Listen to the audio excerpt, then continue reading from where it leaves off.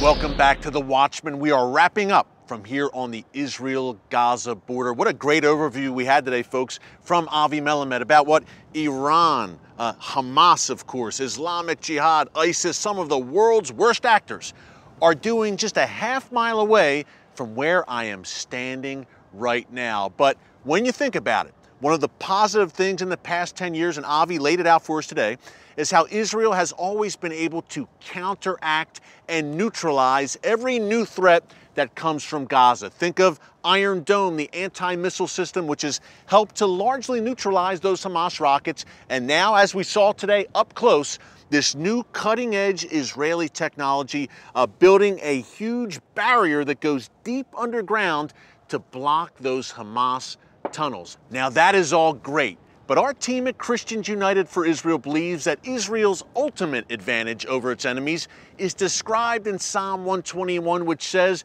The God of Israel neither slumbers nor sleeps, and God Himself watches over this land Israel. And our team at Christians United for Israel invites you to join our movement. Folks, we are nearly 4 million strong and we are growing every day, standing in the gap for God's land and God's people. For Zion's sake, we will not remain silent. And each week here on The Watchman Show, we will continue to bring you the cutting edge, on the ground truth from places like the Israel Gaza border.